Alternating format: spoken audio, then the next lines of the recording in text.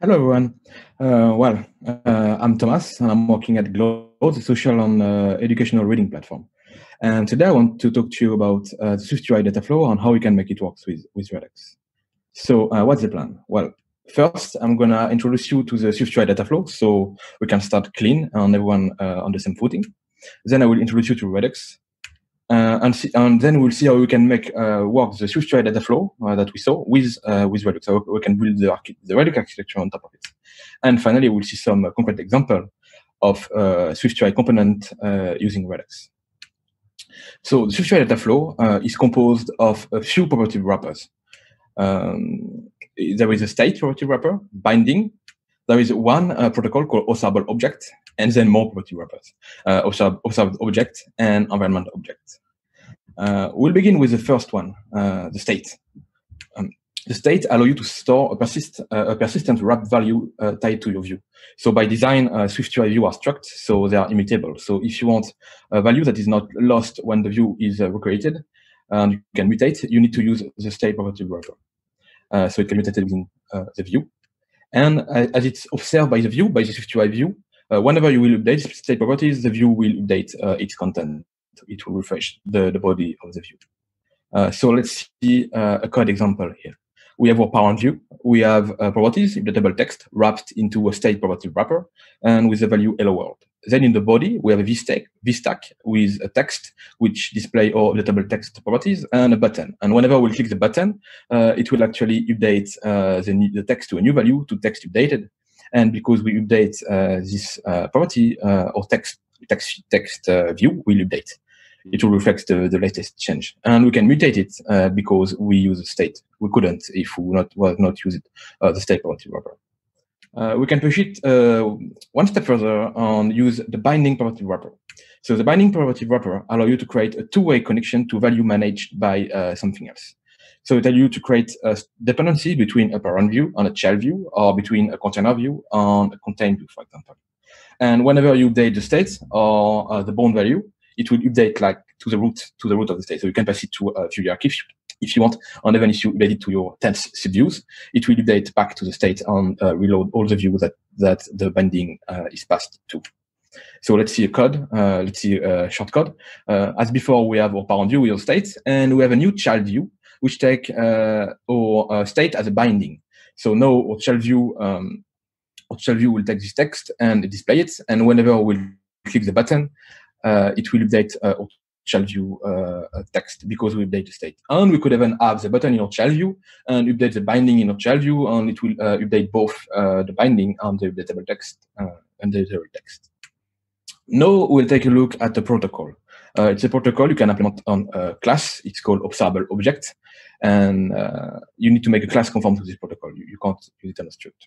Uh, typically, uh, you want to use this protocol on a view model. Uh, so uh, the view model will contain all the computed values and computed values that you need for your views, computed properties that you need for your views. And so this model will be observable, and your view will, need, will be able to get the last change in, the last change in on the most computed value. Uh, let's take a look uh, at our uh, view model now. Um, so we have our my view model, which conform to observable object. And we implement one property my text, which uh, store hello world uh, string, and when and we implement the will set on it. And whenever uh, will set will be called, we call object will change that send, which we have access to uh, from the observable object protocol. And whenever we'll call object object will change, it will notify all the subscribers. So in our case, SwiftUI views, that there is some changing and that uh, the view can be uh, refreshed. Uh, so as before, we'll push it one step further and we'll take a look at the published property wrapper. Uh, so the published property wrapper uh, allow you to create a publisher that SwiftUI view can subscribe to. And you can also use published properties uh, for yourself and subscribe to uh, the property. For example, if you do uh, a search, you will maybe have a search, search text uh, string wrapped into a published property wrapper. And within your view model, you will subscribe to the search text. And because the search text property will be bound to some text field uh, in your SwiftUI view, whenever you will get um, whenever you will get new new new input values, you will uh, using combine, for example, you will extract from your, your network API or from your database uh, and return results also published properties. So it can be used for SwiftUI view itself automatically, and you can also use it for yourself and publish uh, more properties uh, derived from uh, whenever this one change. Uh, so this is a proper way to handle a live value within your view model. So now let's go back at the code of our view model. And this time, instead of calling uh, will set ourselves, we uh, wrapped it into a publish property wrapper. And how to make SwiftUI uh, listen to change? Well, for that, we use one more property wrapper called observed object. And this is a property wrapper that allows you to connect your view to your view model. So view model that conforms to observable object will be able to be wrapped into observed object protocol. And so it allows SwiftUI to subscribe uh, to your published property within this view model and to subscribe to the change that you want to emit from this uh, view model. Or I'm saying view model, but it can be any uh, observable object, basically. So let's take a look now. Uh, we have our view model uh, on the my view. On my view, uh, we create a new view model whenever this view is created, and we wrapped it into observe object. And with the body, we reference view model.myText. And whenever we will update my text, uh, being from the body of the view or from anywhere in the app, um, or uh, text inside or my view will be updated to reflect uh, the new value of my text. let's take a look at the last one, environment object. So environment object allow you to retrieve an object injected into, into your whole view hierarchy uh, by the environment object view modifier. It's a cornerstone on, uh, on how, of how we'll make Redux works uh, with SwiftUI. So it can be useful, for example, if you want to inject uh, a database instance or network API service into your view hierarchy and access it uh, on some app preferences and access it from your from within your SwiftUI view. Let, us see a concrete example. Uh, here is some code here. We define a class app preferences, which conform to the observable object protocol. We have three published property inside. Then we have the root view of our app. Uh, it uh, will instantiate app view and create an using environment object view modifier, instantiate a new uh, instance of our app preferences and inject it into the app view. In app view, we can retrieve this instance using environment object property wrapper. And so now in the body, we can uh, actually bind uh, some toggle on our uh, Boolean values. And it's a two-way connection. So whenever we'll change a, in our instance of our preferences in other view, for example, uh, the value of this Boolean or toggle will get updated. And whenever we will uh, update, uh, whenever we'll touch or toggle or toggle actually, it will update those Boolean values. So we can have shared preferences really easily into and have access to it in any of our view. Uh, and to reset all that, I made a very simple application called AC Helper. It's on uh, GitHub. It doesn't use Redux. It uses uh, everything we saw uh, right now. Uh, the Swift a simple SwiftUI data flow, uh, property, property wrapper on like something anything super complex. And so if you're a fan of Swift UI on Animal Crossing, it's it's a great great way to get started in Swift UI. And we have already some around like 13 contributors with a lot of pull requests. So anyone can join. Welcome. Uh, and now let's go uh, on topic and talk about Redux. So what is Redux? So Redux is a design pattern. Uh, it's a design pattern to help you uh, architecture your application data flow. The goal is to centralize your whole application state uh, into one uh, core store state and one like to have one business logic at, at one place into your app. And if I'm talking about it today, it's because well I love it. but why Redux? Why again? the goal is to have a, a single source of truth uh, so you have all your business logic in one place. I'm really insisting on that because uh, because this is the way it works, and this is like, like the goal is really to have all all our business logic, all mutation happening in one place, and you will see uh, later why. Why? So because of that, we have a unidirectional data flow. So your view will emit action, uh, emit some action that will um, in the reducer mutate some data and return a new state, and your view will get updated from this uh, new states. Uh, so all state modification happen in reducer.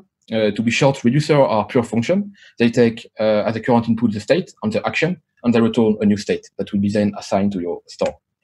And it's really easy because of that to build like isolated and reusable view component. You don't need any parents, you don't need any child. You just need to to have access to the store to extract some properties and to build your view component, uh, your view SwiftUI view from that.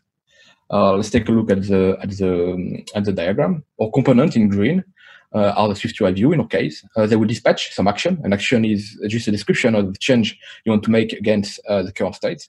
The reducer will take this action and the current state and compute a new state. And it will be assigned to the store. And finally, our component or store will publish this new state to our subscribed uh, component, SwiftUI view, and they will get updated. And we go on and on and on so uh, how uh, we build uh, how we will build a Redux store using the SwiftUI data flow that we saw before. Well, we will have a store uh, that conforms to observable object, and inside we will have one published properties uh, that contain a whole application state. And then we will create a new instance in the scene delegate, for example, of our project or for store. And then we will inject our store as an using environment object uh, inside our home view or root view hierarchy. So it will be available in any of our subsequent view, in any of our subviews. And finally, uh, in any subviews, we can retrieve an instance of this store using environment object property wrapper. And uh, sorry, uh, and we can extract properties. So either we can extract them as committed properties using store.state, as you see, or access it directly in the body. And because the store is published any any any time a change happen, we will get the most related uh, the most related values. Um, but this is not really close to the React syntax we have today. It's working fine. Uh, it's not really close to the syntax, uh, syntax we have today in React. For example, if you're doing some web application development, and it's not very pretty, and um, and and I wanted to make to make it closer to what we have uh, today in the in React uh, and Redux uh, architecture. So for that, I made an open source library called SwiftUI Flux. Uh, so the goal is to not access the store environment object uh, directly. The, the, whole point is to uh, actually, in your view, you will have a new component called connected view, and the goal will be in this connected view to extract the properties you need, the local properties you need from the, from your store, from your state, and compute them into a local view properties. So it's cleaner and much more closer to the uh, modern React uh, Redux syntax. So to illustrate that, I've made an app called uh, Movie SwiftUI last summer. And this is where I started to explore uh, Redux with SwiftUI because I was working uh, in UIKit for years. So as SwiftUI went out, I wanted to see how I can make uh, an application using uh, using Redux with SwiftUI. So it's fully open source uh, and available on GitHub. Again, you can clone it, uh, you can launch it, and you can see how it works. There is a lot of animation, and there is a lot of uh, actually views you can you can play with, and it's all working uh, using Redux. So how does it look now that we uh, have a SwiftUI Flux in our uh, as a dependency as a library? It's, it's, a very small library, but it provides like few key components that make our, our life much easier. So now in our, our delegate, in our home view, we are not injecting ourselves uh, the environment object store. We we wrapped our home view into a store provider. And Store Provider is just a fancy name uh, for something that's doing exactly the same as we did before. It's taking more content view and uh, using environment object, uh, injecting the store. It's just providing some more syntactic sugar and it's providing like some more helper. Uh, if you if you use the library, you will see it providing like some more some more tools. And then one of the other key component is connected view. So unlike SwiftUI uh, view, connected view uh, have a bit different lifecycle. Uh, first, we'll dispatch an action, a state modification. So it can happen wherever, like the user tap a button, whenever you trigger an API call, uh, or you have a response that will dispatch an action, uh, that will dispatch an action. Uh, then this view will receive a new state. And in the backend, basically, we are reducing, computing this new state in a reducer. And finally, uh, our view will receive this new state and call a function called map state to props. This is where we receive the current state and be able to extract uh, the states in local view properties. So here we do some more computation to extract this property. It should be very lightweight, so you're not you don't want to slow down uh, SwiftUI rendering here. So all the heavy computation need to be done in your reducer. Uh, and then finally, call a new function body uh, with your props. So it's not uh, a computed var anymore. It's a function. Uh, it's a function called body, where you still return some view exactly as before, but you have access to your prop that you computed that you computed uh, above. And this is the only place where you have access to your props. And then basically after that, we return our body. Uh, the view is updated and reflect our last test information in your, in your store. Let's take a look at a very simple component. Here we are looking uh, at the context menu. Uh, add to fan club and remove from fan club, which is a toggle, a context menu toggle on any row that have an actor on. In this app, we call it a people model. So it's, this view needs need conform to connected view and it needs one second props. Uh, we use it to know if he's in the fan club or not. And for that, we use a custom binding. It will allow us to have a custom getter on setter, and you will uh, understand why just after. And the only thing we need from the parent is actually the people ID. So the ID uh, of uh, the actor uh, that we need to create the view. So then we'll call the function map state to props. This is where we receive the current state and where we need to compute our props. So we create a custom binding. And if you look at the getter, we just check if in our state the people is in the fan club or not. And this is uh, in the setter that it's actually fun. We um, we dispatch uh, an action add to fan club or remove fan club, depending if uh, the value, uh, the boolean is in, uh, I mean, the actor is in the fan club or not. And then we return these props with our custom binding. So whenever we'll trigger this button, it will actually, whenever we'll change this uh, binding wrap values, it will actually trigger our action. So now let's take a look uh, at the body. Uh, so we have a VStack with a button. The button, uh, when it's tapped and the action, basically toggles the value. So pass the boolean from true to false or false to true. And in, in the label, we have an HStack with a text on an image, and we just um, display like the text on the image, like depending if it's uh, actually the club or not. That's it. Uh, we just need this information on our view is fully aware of the state and will update accordingly. And that's it. It's like few line of code, and you're fully connected view and completely independent of uh, any any other view or any anything else apart from, of course, obviously your, your state. So how does it work? How does it work in the backend? Let's take a deeper look. We have a store, as we said, uh, that we create uh, when our application launch with our initial reducer on our initial app state, or main app reducer, on our initial uh, application state. Our initial application state is very simple. It has a movie state and a people state. Let's take a look at the, people state. The people state is composed of a map of people. So the ID is an int, and it goes to the final object people. And our fan club is just a set of those ID. We don't. We just need that uh, in our people state. Uh, the people action that we trigger when we click the button is add to fan club and remove fan club. And those action just have one uh, properties, uh, constant uh, uh, people with the ID of the people we want to add or remove. Then we have our dispatch function, which, as I said, like take the current state and call the reducer with the current state and the action and assign it to our state. And our main application reducer reduce have two reducer, the reducer for the movie and the reducer for the people. So then in our people reducer, we uh, actually uh, catch your two action, add to fan club and remove fan club, and we're just doing an insert of on or removing our set, and we return uh, the state. Let's take a look at one more component. Uh, I want to show you that even if we go through all this whole hoop, I, I hope you can see the video clearly on the stream. Uh, I'm not sure. Uh, but I, I, I want to show you that even if you go through all those reducer on this loop, SwiftUI still honor your animation. So here we have some button that trigger some state uh, modification. And whenever we click on it, the button will animate uh, their state ch change between the previous and new state. And so it works like natively as, as if you was using uh, a state property wrapper or the binding property wrapper, for example, locally to your view.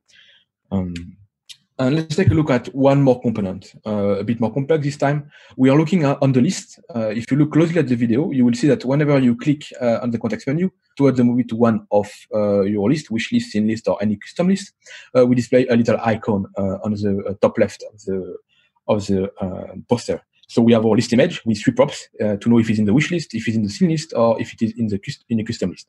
On same as before, we just need one ID, the movie ID that is relevant to this context menu uh, to this view. We understand the context menu this time. It's just a little, uh, just a little uh, icon, the, the, the, view that controls the little icon. Then we have a map state to prop function that is called. We extract, uh, we extract from our state, like we query our state to know if uh, it's in the wish list, in the seen list, or in any custom list. And finally, we have our body here. So as you can see, I can pass the props to another function, no problem. So you can really make your code pretty to, to uh, cut it in like small function that you should do. And with these props, like we have, we're calculating like the, the icon, we're returning the icon we want to show, depending uh, of the uh, of the uh, depending of the list this movie is uh, in. Um, so to conclude, uh, Redux allows us to have like really easy separation of concern. Uh, it's for progress with SwiftUI between Dataflow. Basically, we are not making any fancy thing. we are making um, we are just using what we have in the SwiftUI Dataflow. Uh, and the view components are really small, uh, very clean, small, reusable on MP of uh, any business logic. And so you can focus on your UI code and have all your business logic model uh, bugs in your register where you have all your mutation and everything. So this is what you can test. Uh, and then you can also test your view and inject some props, for example, uh, Uh, apart from uh, from uh, this business this business logic. So thank you for listening, and well, thank you.